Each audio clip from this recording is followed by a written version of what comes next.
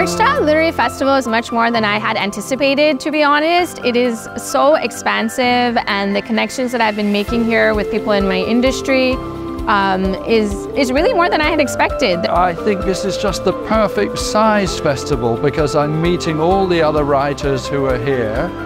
Uh, and also, I love the way that it's possible to get to everything. Everything I've attended has been stimulating and thought provoking and interesting. And also, I'm so impressed by the fact that all the events are free, which means that, you know, locals can attend. I think the, you know, the team does such a, an amazing job to keep the festival going, you know, after all these years in, in what is not the easiest climate.